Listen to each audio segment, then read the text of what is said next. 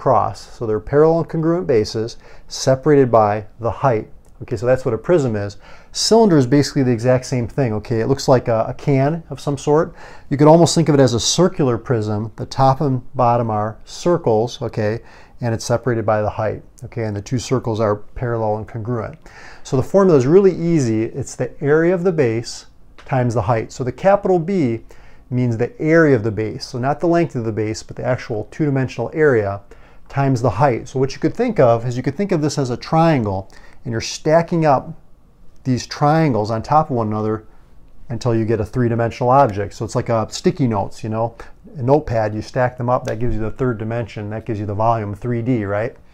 Okay, so if we find the, let's look at this example. If we find the volume of this triangular prism, okay, now notice the, the dots here, the dashes, that just means that we're looking through the object to the other side so that we can kind of get that sense of 3D on a flat surface. Okay, but let's go and find the volume on this one. It's the area of the base times the height.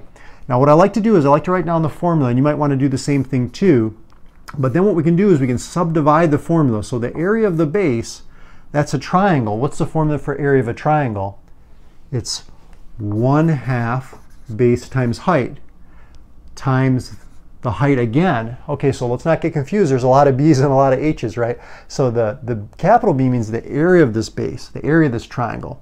The little b means the length of the base. So the base here in this triangle is either 3 or 4. Okay, 3 could be the base and 4 could be the height of the triangle, kind of like this.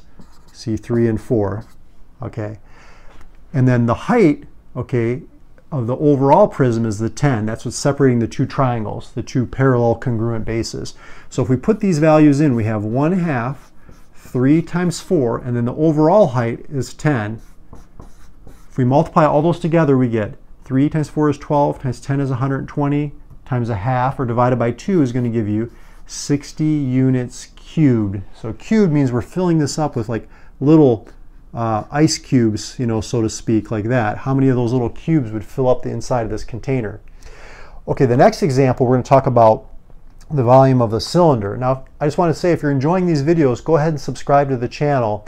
And uh, I've got more videos like this coming for you, and you can check out some of my past videos. But let's look at this last example, uh, cylinder. Okay, same idea. We're going to find the volume. So it's the area of the base times the height. The base is a circle, what's the formula for area of a circle? It's pi r squared, right? So, and then times the height. So the overall height we know is 10. We know what pi is, it's 3.14. And then the radius is the distance from the center of the circle to a point on the circle. So they give us that, that's 4, 4 squared. So remember, you want to do the order of operations, parentheses, exponents, multiplication, right? So 4 squared is 16, times 10 is 160, and we'll just leave pi as pi, so that'll give us an exact answer, 160 pi units cubed. We're filling this up with like little